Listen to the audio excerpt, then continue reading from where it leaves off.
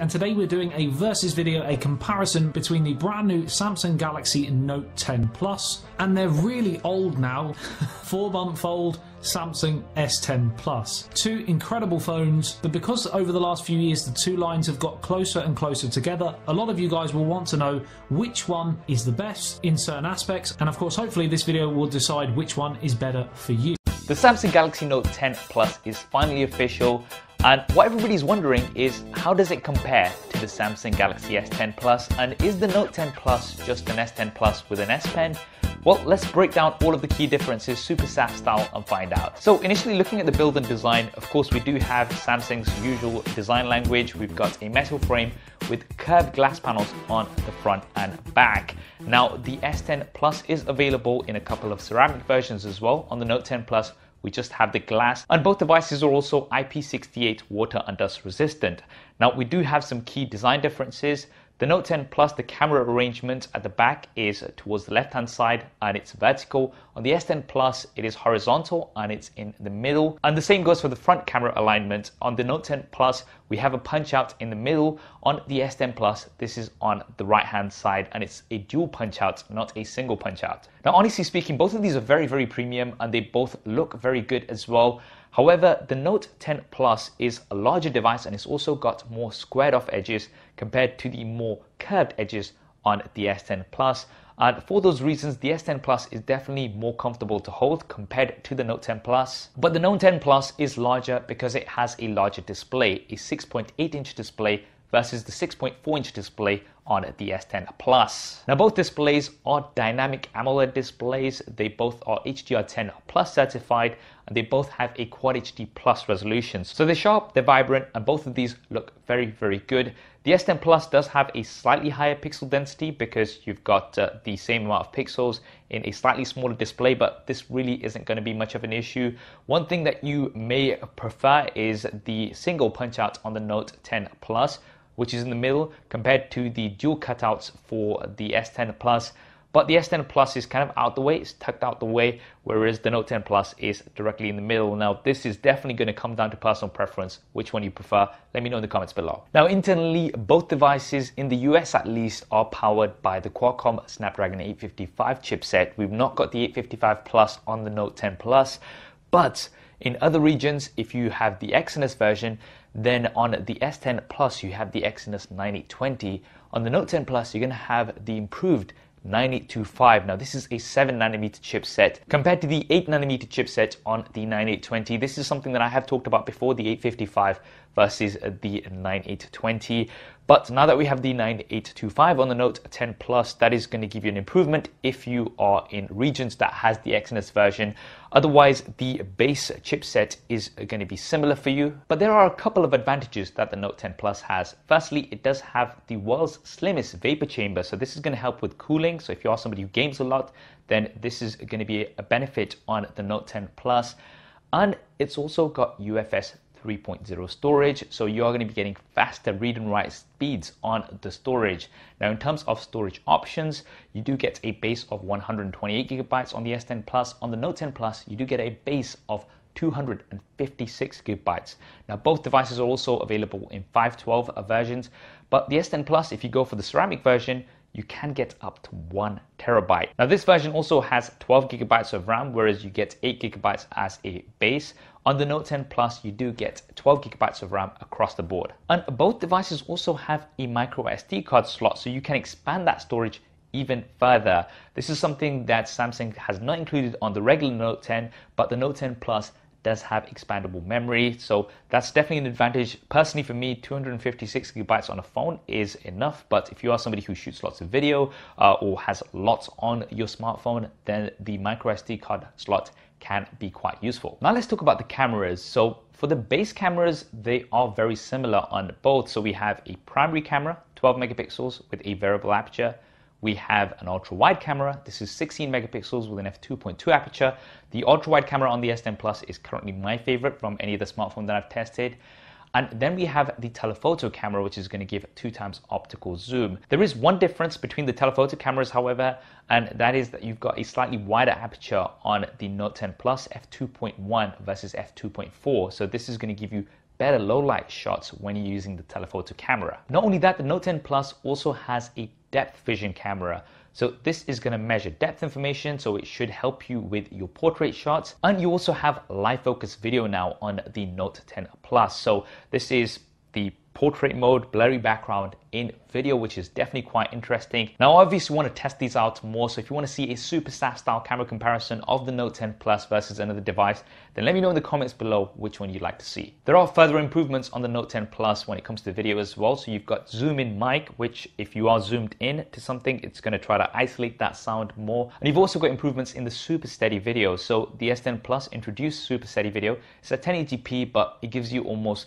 action camera like stabilization. It works really, really well. You've got this on the Note 10 Plus, but they've increased the sampling rate, so you should be getting better stabilization. You can also use this now in the hyperlapse feature. And when it comes to the front-facing cameras, things are quite interesting because you've got 10 megapixels on both, but the S10 Plus does have a wider aperture, an f1.9 aperture, whereas you've got f2.2 on the Note 10 Plus. Now, is this going to affect low light selfies? Uh, we're going to have to wait and see.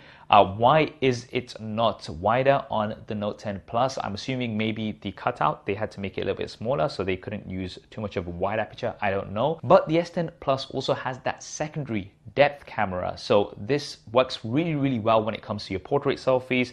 Uh, the S10 Plus, probably one of my favorites when it comes to edge detection. It does a really, really good job, gives you a natural uh, background blur.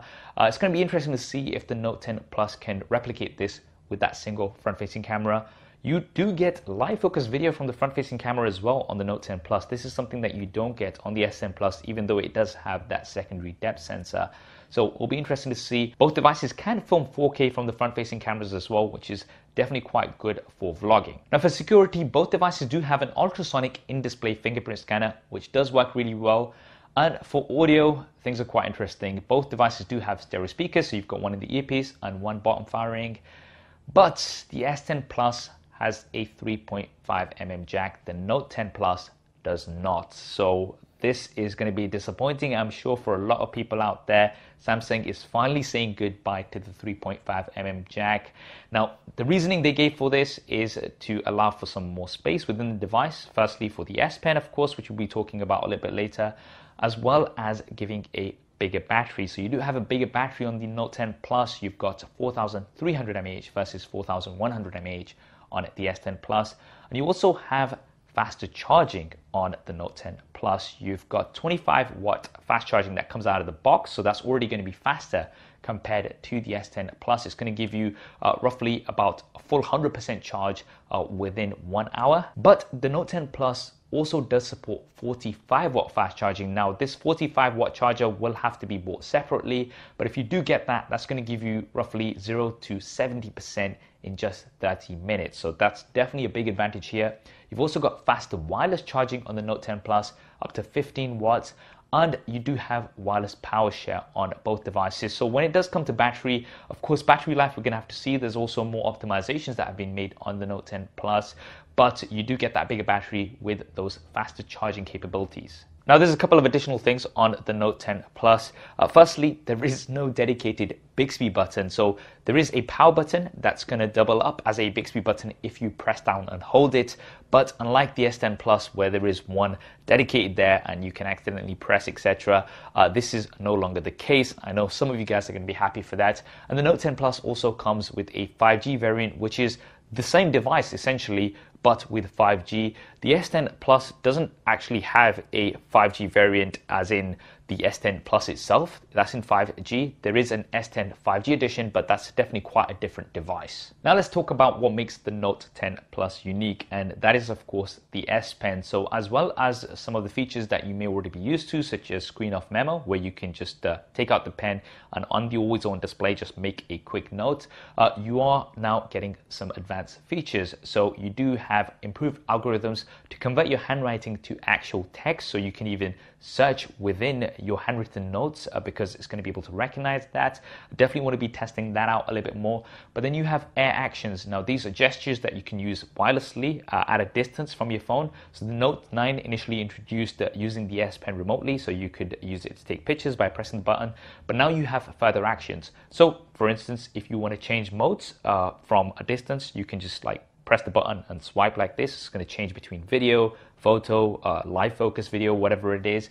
And if you go from up and down, it's going to flip the camera. Uh, so from selfie to refacing. And then you can wave the S Pen around like this and it's going to zoom in. And if you go anti-clockwise, it's going to zoom out. So Honestly speaking, I don't know how much I'm going to be using it. I know it is quite useful if you do want to set up a shot or something, you can just put it there and you know, you don't have to use a timer or anything, you just press the button. But some of these other gestures, I'm not sure how useful they'll actually be. Now, when it comes to the software, you do have Android Pie with One UI on top. Now, I definitely am a fan of One UI. It's uh, very, very clean and smooth and I've really liked it on the S10 Plus.